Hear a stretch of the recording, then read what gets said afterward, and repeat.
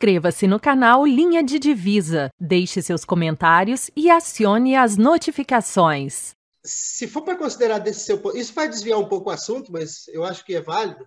Mas considerando do seu ponto de vista, a filosofia da liberdade de Sartre é uma terceira via. Porque, basicamente, de maneira muito grosseira, o que Sartre fez na crítica da razão dialética foi tentar levar a noção de liberdade para toda aquela estrutura revelada pelo Marx. Sartre, por exemplo, fazia sua crítica à revolução socialista no, no, no modelo marxista, porque aos olhos de Sartre ela não considerava a liberdade, ou seja, não considerava o ser humano como Sartre, na sua filosofia, considerava, e por isso haveria o risco da, da revolução fracassar. E de fato fracassou. Você tem pessoas morrendo em 17 e você tem pessoas comemorando, netos, bisnetos, sei lá, desse grupo, quando o muro de Berlim, por exemplo, é, o muro de, de, de, de é, é, quando o muro é, destruído, as pessoas estão ali comemorando. Isso, e é claro, é, isso, isso é muito marcante. Isso mostra que a liberdade precisava ser considerada. Então, o que Sartre propõe é uma espécie de reparo ao marxismo. Costuma-se dizer que Sartre se converteu ao marxismo. A conversão é uma mudança da, da sua, do seu caminho. Né? Você se converte ao cristianismo, você abandona o seu caminho e passa a viver como cristão. Sartre teria que abandonar a filosofia da liberdade e começar a pensar com aquele determinismo e com a, o que Sartre chamava de autoritarismo, que era muito comum dos partidos comunistas e dos teóricos comunistas. Né? Marx já, já não estava capaz para responder nenhuma das, das indagações que fossem feitas a ele. Mas o, os, os, os, marxistas estavam ali. Então, o debate é mais com o Lukács, por exemplo, do que com o Marx, efetivamente, o debate de Sartre. Mas o que Sartre pretendia era uma revolução, um socialismo com liberdade.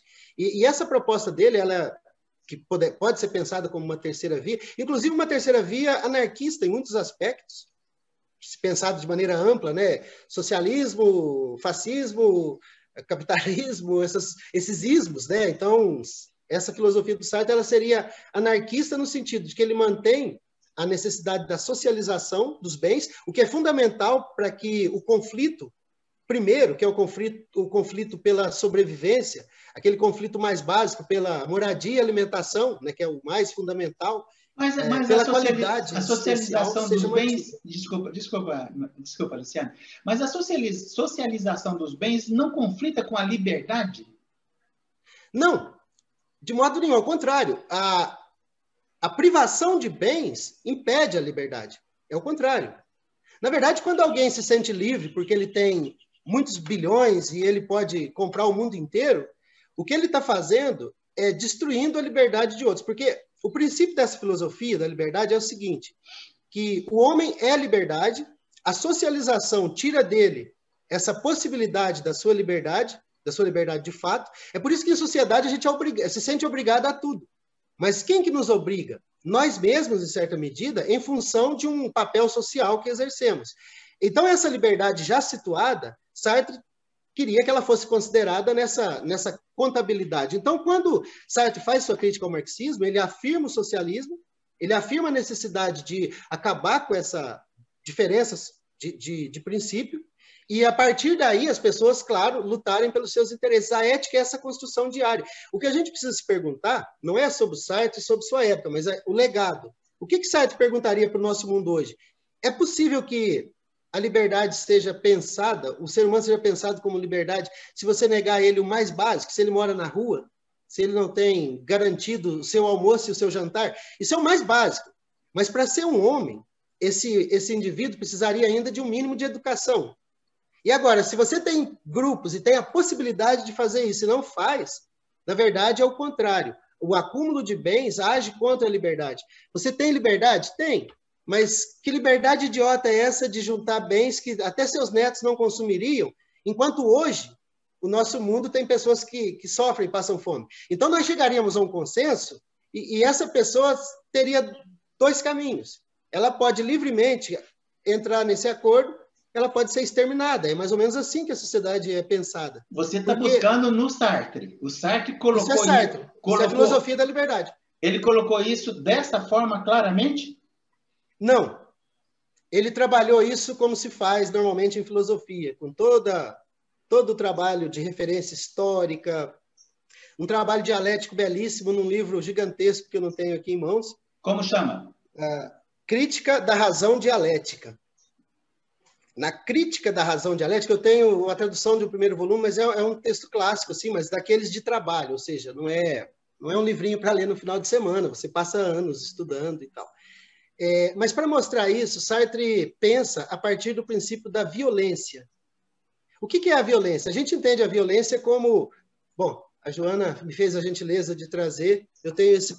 Isso aqui é só a primeira parte da crítica da razão dialética, onde é a tradução, claro, onde Sartre trabalha é, essa, essas questões. É, e depois nós temos também materiais inéditos que eu trabalhei Fala, fala para o público aí quem é a Joana, rapaz. O pessoal não sabe. Ah, desculpe, Joana é minha esposa que está aqui em casa comigo e, e me, me ajuda sobre se fazer uma revolução ela não seria contrária à liberdade. É, isso advém de uma compreensão vulgar de senso comum do que é liberdade. A liberdade, pensada pelo senso comum, pelas pessoas em geral, a liberdade é pensada como fazer o que se quer. Só que nesse fazer o que se quer, se você existisse numa ontogênese privada, ou seja, se o mundo existisse só você e o mundo, e o mundo fosse dócil a você, se você fosse Deus, né, mas um Deus faltado, um Deus ao qual te falta algo, imediatamente tudo faria aquilo que você gostaria. Então, as mulheres quereriam ficar com você, as pessoas queriam te dar dinheiro, te servir, etc. Mas o mundo não é assim. Nós não estamos lidando com uma liberdade. Todos os indivíduos, independente do seu, da sua idade, do seu, das, enfim, de, de, de etnia, raça, é, cor, definição, seja o que for, gênero, sexo, qualquer coisa, ela é liberdade. E as liberdades, elas sempre estarão em conflito.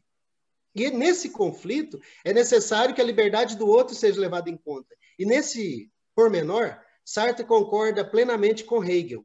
Hegel diz uh, o seguinte: ou todos os homens são livres, ou nenhum jamais o será. Agora, sem hipocrisia nenhuma, se você tem um capitalismo em que ele permite o acúmulo de renda a ponto de alguns terem dinheiro que três gerações não consumiriam, agora já passou disso, né, essas, essas projeções, e outras pessoas passam fome, isso, a própria liberdade pode questionar sobre isso, sobre essas liberdades que não têm o que comer, que, e ela pode chegar a um acordo Agora, quando eu falo daquela maneira, parece algo muito grosseiro, porque se trata de violência.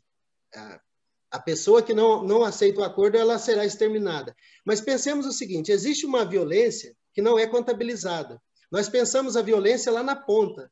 Nós pensamos como violenta a atitude do jovem negro favelado que teve todos os seus direitos cassados antes, ou seja, ele não teve moradia decente, ele não teve alimentação decente, ele não teve educação decente. Nós vemos a violência desse indivíduo contra ah, o status e os bens de outras pessoas que não têm esses, esses problemas.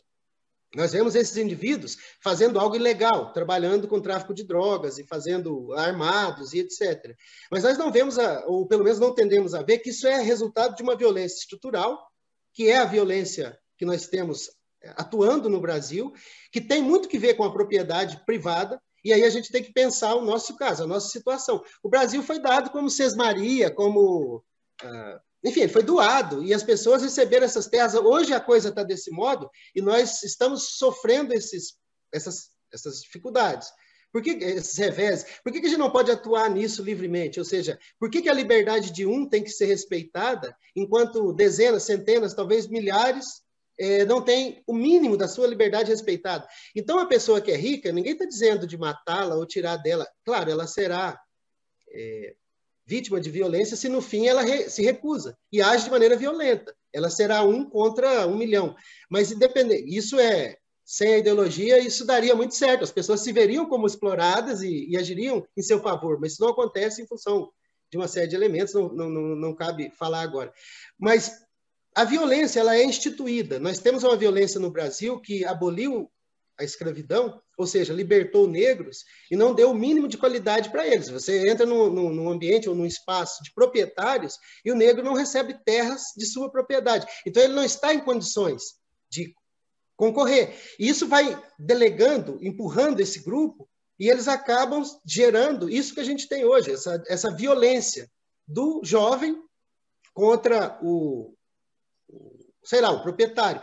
Mas, na, na, na, real, Sartre vai pensar a violência em três níveis. Ele pensa a violência estatal e a violência instituída. A violência instituída é essa dessa pessoa que, em função de uma violência prévia, que é estatal e mantida pela polícia, né, não pode esquecer, a Polícia do Rio de Janeiro foi criada para defender a, a propriedade, para defender os, as pessoas.